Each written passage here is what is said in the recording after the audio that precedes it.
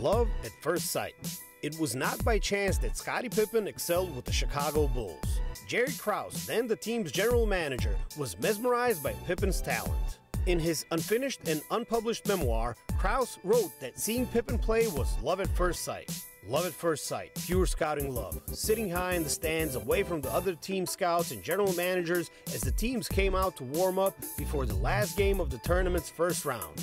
I looked at Bulls scout Billy McKinney and said, That's Pippen, isn't it?